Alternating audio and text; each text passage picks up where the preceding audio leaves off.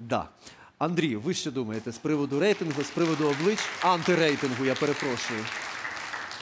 Я два, аспекта э, прокомментирую. Но по поводу лидеров, антирейтинга и вообще в целом рейтинга, то, мне кажется, это лично для президента очень, очень серьезная проблема, поскольку 20% э, различия, разница, точнее, между Юлией Владимировной, э, для, для Юлии Владимировны это не критично, исходя из того, что она на протяжении последнего года первая во многих рейтингах. А для президента, на мой взгляд, подобный антирейтинг, он критичен.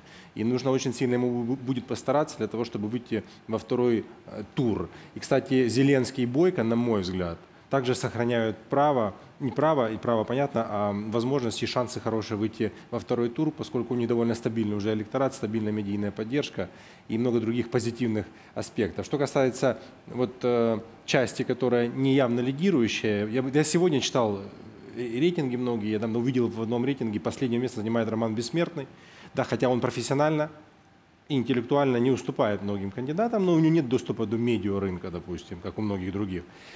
Но он э, активен. И также мы видим Мураева, который создал собственную партию, так мы видим и Сергея э, Таруту.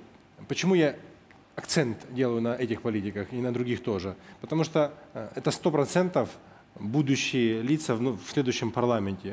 То есть даже если мне не удастся выйти э, во второй тур президентский, то точно они попадут со своими политическими партиями, скорее всего, в парламент.